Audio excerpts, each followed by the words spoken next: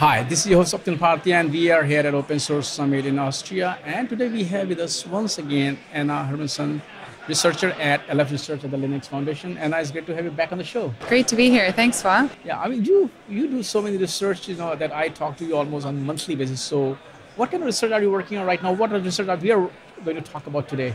Yeah, we've been running a lot of projects this year, a lot of survey based research. Um, one that is particularly close to my heart is the research that I've been working on in the healthcare space, looking at how do we incorporate open source into that sector to make it more interoperable, easier to use, more efficient. And um, it is an area where we don't actually see a lot of open source representation. Um, we don't have many healthcare providers or healthcare players at the Linux Foundation, and so we decided to run this research. It's been going on for a number of months now, and we're about to wrap up that report. Now, when we look at healthcare, you know, this is also one of the heavily regulated industry. You know, you have a lot of you know regulations there.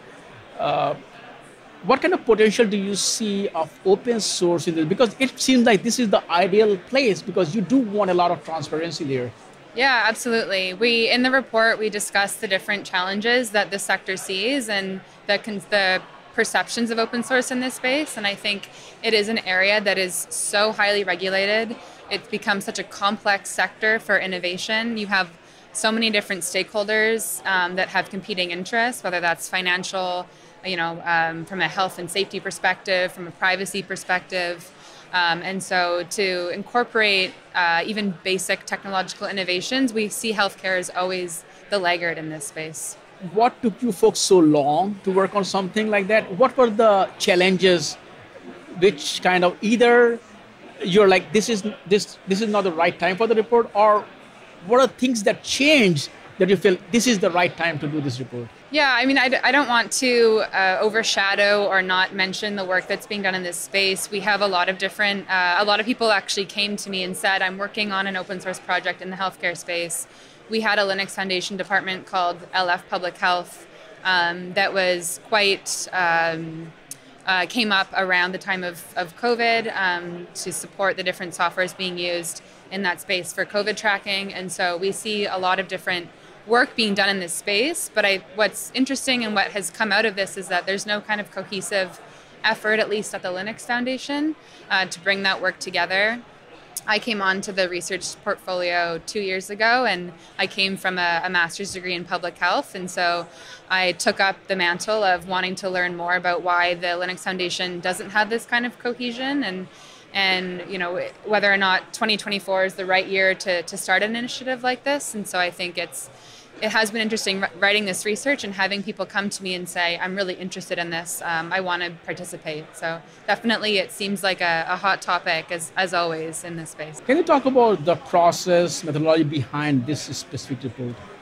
So we, uh, I worked with a close collaborator, Irving Wladawsky-Berger at uh, MIT as an affiliate there, and he he is also very interested in this topic and why um, health data is so uninteroperable. And so we started brainstorming different people we could speak to in this space. Um, you know, he has a lot of contacts, and so we. Uh, we started with interviews, uh, hour long interviews over Zoom, asking experts in this space uh, whether or not they know about open source applications in healthcare, uh, what the perceptions are of open source in this sector, what the challenges are, whether or not that's specific, specifically with open source adoption or generally speaking with data interoperability. And so we collated a lot of uh, qualitative data, uh, and from there I analyzed those transcripts and built out themes around that provides kind of a landscape of, of what the challenges are how do we you know resolve these conflicts between open source perceptions and the value of open source and then ultimately um, you know what are some recommendations or uh, next steps that we can take so that uh, we can we can have more of a cohesive unit around healthcare and push that open source uh, mandate and value proposition in this sector. And what kind of folks or organizations did you talk so we spoke to mainly technologists in the healthcare space. Um, we spoke to some individuals at um, different providers across the United States. Uh, we spoke to academics, um, spoke to individuals in Europe. We tried to get a global view of this challenge as um, people most likely know that there are different countries with very different healthcare uh, systems. All of these systems seem to have this data issue, um, some more prominently than others. And so we, we spoke to individuals in the US who are working on this issue. We spoke to a lot of Canadians um, who are working on data interoperability and open source, and um, individuals in the UK and across Europe as well. And um, individuals in India as well who are working on um, kind of these open source building blocks in the healthcare sector, which was a really interesting conversation. I remember a couple of years ago, I talked to uh, Sanath, and his son had a rare disease. So, and he worked on a project, and you know, Linux Foundation also. So, did also that that also played any role in this project? Yeah, actually, when I first started the Linux Foundation, I spoke to Mike Dolan, and he told me about this project RareCamp, um, which is a project that is tracking uh, health data for rare genetic diseases. And that was actually an area that I was very interested in my master's degree. And so um, it, it, I am actually speaking to Sanath in a couple days, and we're going to talk more about this RareCamp project and where he sees the open source community in this specific sector of um, you know, genetic rare diseases where we desperately need this data. We have people um, who are very uh, welcoming towards sharing their data in this space, but those kind of structures and, and processes in place are, aren't in place to do that. Now let's talk about some of the findings. Now, when I am talking about findings, which could also mean that it will also provide a lot of resources to actually move the push the envelope in the direction where healthcare providers can start embracing open source? Yeah, so I mean, the report it kind of turned into a landscape project of um, understanding the state of the, the health sector and the data interoperability issues that exist in this sector and um, you know also to give a, an overview of where is open source being used in the sector and what some perceptions are of, of open source. And um, I would say the um, the key findings of this research are really to showcase um, you know where those gaps are and what the Linux Foundation can do in terms of next steps to build out a research initiative that or a, a health initiative that can support these you know various different open source projects such as RareCamp um, and bring those together to form more of a cohesive unit around um, healthcare. I would say one of the main topics that came up in our discussions was building out an open source uh, architecture similar to the the 5G Super Blueprint, which is on the Linux Foundation website. You can go take a look at that. But the um, the telco space uh, came together. A lot of competitors came together to build a blueprint so that um, individuals that are working in the sector can know kind of where their solution plugs into this landscape. And so, healthcare doesn't have that right now. You have startups that build a solution for a specific context. They try and bring it to another context, and that it fails because that the other context isn't set up to to use and to integrate with that solution. And so, if we build out an architecture, then everyone is kind of operating on that same pre-competitive protocol, and we can have these solutions plug in much more effectively and not as a, as a loss to innovation, where we see innovations only working in a specific context right now. If you look at like just industry wide, you know. Uh, there are certain industries which are kind of slow when it comes to it. Like fin, you know, fintech is a you know financial, you know, but Finos is a project. It depends on when you talk to Gab how he wanted to pronounce Finos, Finos, you know, depends on that. And I feel that healthcare is also in the same space. Uh, when you work on this report, uh, what are some of the hurdles that you see that these also this is also industry which has been around for a very long time, you know uh, also it is also very well regulated, but also it's not. There are some, some few companies, you know, it's kind of monopolies are there in if, if that is the right term, so uh, uh, right or wrong term. So can you also talk about what are the hurdles uh, that this industry faces? Uh, because I mean, people see the value of open source, but there are some genuine reasons also that they cannot that quickly move. Yeah, so I would say the one of the biggest hurdles in this space is is regulation. Um, there's a lot of uh, regulation that exists to keep people healthy and even alive. You know, there's this uh, incredibly risk adverse industry that is kind of a, afraid of building out a solution if it um, doesn't really benefit the patient, and that risk taking um, is is quite unique to healthcare. The financial services sector has important risks, but it's not necessarily a life or death situation. And so um, you can definitely compare some of the work in healthcare to financial services in terms of data privacy and that kind of collaboration amongst competitors. Um, and so, but I would say the the risk aversion of the industry is a huge challenge um, to innovation. Uh, I would also say that the, uh, as you say, the monopolies or the what we call in the report these in, these incumbent electronic health record uh, providers. Um, you know, they have a lot of market power. They have a lot of reasons to keep that data within their systems, to keep um, healthcare providers and patients locked into those systems, to continue to make money off of those uh, licenses. And so, the you know, we see in a, in a number of different countries, Canada and the US in particular, this consolidation around these incumbents, which have more and more market power. Um, and are not interested in, in open source. And so there's challenges that are unique to healthcare, but there's also challenges that we see, you know, in many other industries. And I believe the that kind of risk aversion is what makes this industry such a laggard. But um, I mean, the open source perceptions in this space, as we were building them out in the report, are very familiar. You know, like if whether open source is commercially viable, um, there's no vendor support around it. So we had a lot of what we called misperceptions that um, I think you know as as our research tries to do, we can educate better on the value of open source and why it actually fits so well with that open science ethos of healthcare, um, and and produce an, an initiative that better supports open source adoption in this space.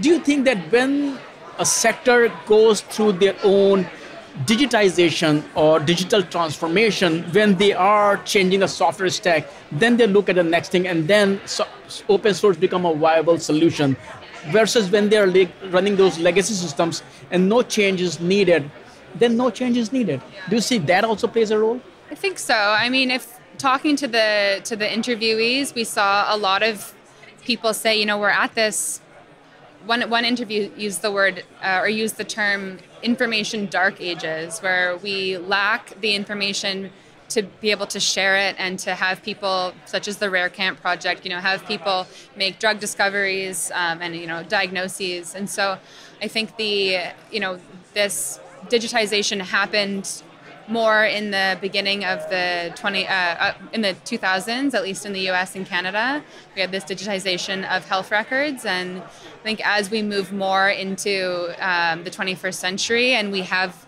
uh, you know very prominent uh, news stories and prominent issues come out in the healthcare space where we have such a need for, for better resourcing and for more efficient systems. Um, I, you know, I, I think the open source value proposition becomes more and more attractive. And especially with, you know, we, we see this across different industries. AI is such a big piece of the healthcare puzzle, and it's already providing so much benefit, particularly in the automation uh, space and also a bit in, in detection of, of diagnoses as well. And so, uh, in one of one of the sections of the report, we discuss AI as a catalyst for you know are we we're at this point where AI can produce so much good in the healthcare space, and yet AI needs data and as anyone in the healthcare industry knows or anyone who's engaged in you know a healthcare service which is everyone in the world uh, you know data is really lacking in this space. And so the hope maybe is that AI produces this this push for greater data sharing and data accessibility and uh, as we know from the work we've done across industries, open source provides that kind of solution. So that's the hope. Was this report just focusing on the North American market or it was global? It was global. I would say, given my network and the Linux Foundation's network, which is which is global. yeah, um, we spoke to a number of Canadians uh, and Americans, but we also made sure that we received some European representation. Um, you know, as I mentioned earlier, we have all these different healthcare systems that operate in very different ways, and so it was really important for us to make sure that we captured more of a global perspective and, and the work that's being done around the world. There's also a huge push um, in the developing uh, countries to incorporate open source into the healthcare their healthcare systems, and so um, it was really fascinating speaking to the two individuals out of India and the work they're doing um, on the identification system and how that plays into the healthcare sector and how all of these tools are open source and the government mandate was to go open source. And so um, definitely a lot of learning from developing countries as we've seen in other sectors but uh, yeah we did aim for a global perspective. And the reason i asked that question was also that have you also seen a contrast where certain regions in the world they are more pro open source versus certain regions which are still legacy did you see any yeah, absolutely. Between the developing and developed countries, uh, we spoke to an individual who works uh, closely in the space and more generally in the public sector.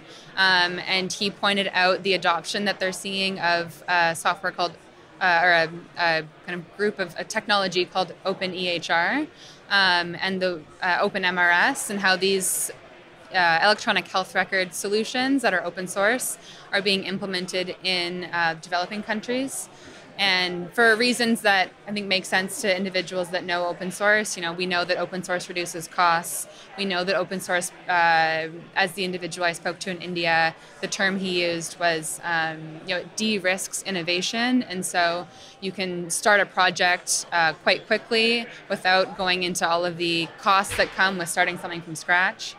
Um, and then there's also, of course, all of this vendor support with open source. And so these different countries, um, you know, that don't necessarily have that entrenched market player like a Cerner or an Epic that are already in that system um, that are looking for solutions and need solutions quickly uh, are turning to open source solutions. So we've definitely seen that and is talked about in the report. Now, the report is done, and as we have often talked, these reports are less about collecting what it is, but also to kind of build a strategy as well, how to use this information to build something. So, talking about how are you going to use this report to actually bring the change that is needed? Yeah, so we the as I mentioned, the, the point of this report was to understand the state of open source in the healthcare sector. We run a, a lot of reports on that state of open source in different industries.